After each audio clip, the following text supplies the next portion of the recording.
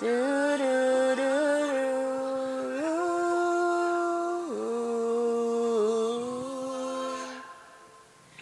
Where are you, Christmas? Why can't I find you? Why have you gone away? Where is the laughter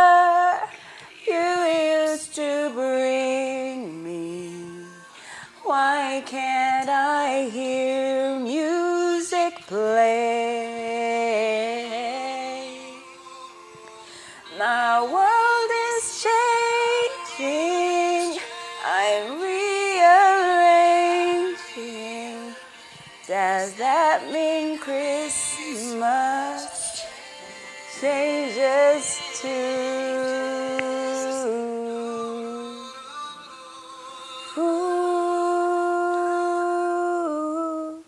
Can you imagine?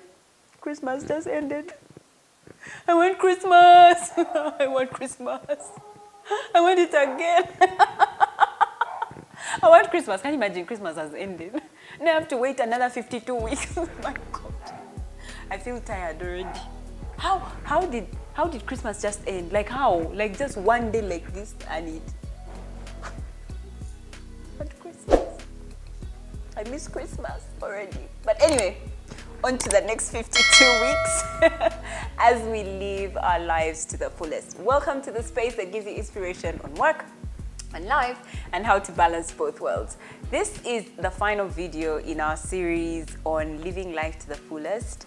And I think for me, this is like now at the, when you followed the, the three videos in the series, this last one is, is it living intentionally, living with intentionality, being intentional with life. Um, so um, this is probably going to be the shortest video because this is a new year and I know that you have things to do, so you will not listen to the full video. But here are the six things that I believe um, helped me to start to live a life of intentionality. One, I decided to. The reason was because I was going through anxiety, I was going through depression. I wasn't doing what I was supposed to do as Manuela, uh, the employer, Manuela, the wife, the Manuela, the mother, the Manuela, the friend, the Manuel, Manuela, the, the, the, the, daughter. I wasn't doing any of those things. I was, I was juggling so many balls and I couldn't catch any. Like I just could, when I have a hold of one, another one, all of them, my world was crumbling. And so I decide, I, I said, no, I, I can't live like this anymore. I really honestly can't. And so just that getting tired and deciding, that was for me the first step to living a life of intentionality.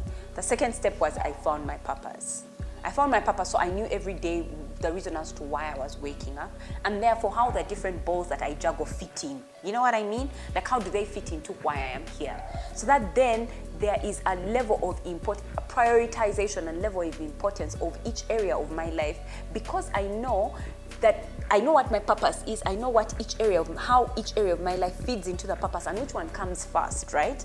And so I know which ball. Like when I'm juggling, the ball that has to be in my hands that I can't let drop. The rest can drop, but there are certain balls that can't drop because I know what my purpose here on earth is.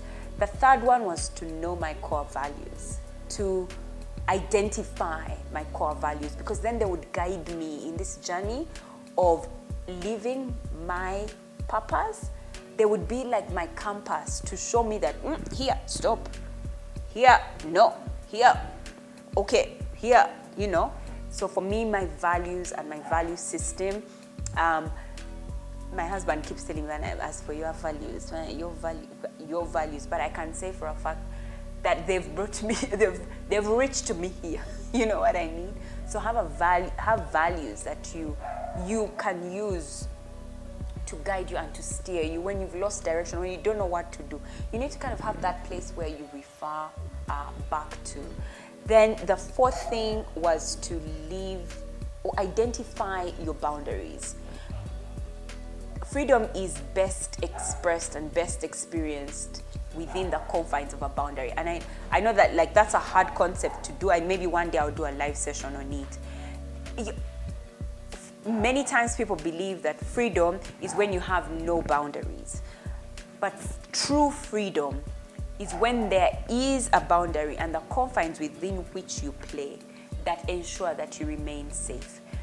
Bound, I mean, freedom without boundaries means that you open your life up to risks, very high risks and pain. So is that true freedom that you get into pain? Anyway, one day I'll do a live, a live session on that. The fifth thing that you want to do is to plan, plan, plan, plan. Because then you, when you leave the plan that you have set out, you're being intentional, aren't you? You know what I mean? You're now being intentional because you're living according to the plan that you yourself has set out. And then sixth and last one is to surround yourself with people who are living intentionally. If there's people around you who are not living a life with intention, you're not going to live a life of intention. So surround yourself with people that are living a life of intention. And so I want to invite you to a space where there's various people living a life of intention in the Purpose Circuit. That it's an annual membership group where we come together, discuss, self do self-discovery, self-awareness, learn our purpose, know our purpose, build a brand around our purpose because we are here to be intentional. But also, you can be a part of my Intentionally coaching or my Intention Alley mentorship programs. I'll leave those uh, I'll leave links to those two programs also in the description box. Now, I need to wish you a happy new year.